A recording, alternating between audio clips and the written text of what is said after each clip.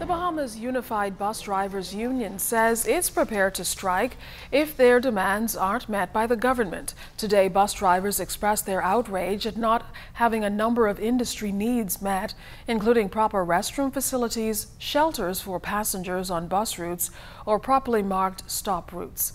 The bus drivers said that this has led to multiple incidents with law enforcement, causing them to often pay uh, fines of up to $250. Union President Frederick Farrington says bus drivers will cease payment of these fines until the government can negotiate their terms.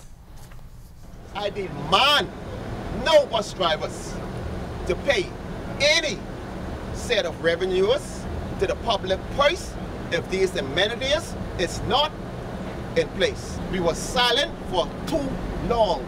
Enough is enough. Within a matter of weeks, if these issues, these stemming issues don't be addressed, the union is going to take our last measure, what we don't want to take, but we're going to strike.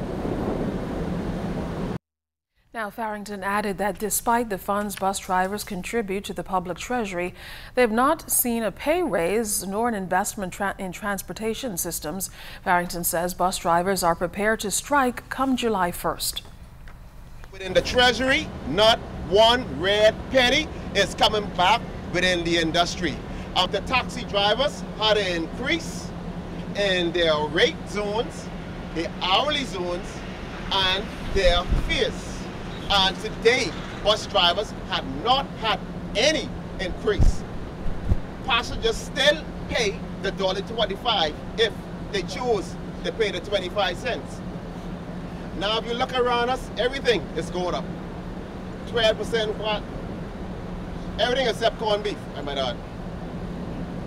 We're calling, once again, on the Prime Minister to address the bus drivers on these issues now, ZNS News spoke with Road Traffic Controller Bradley Sands today about the bus drivers' concerns.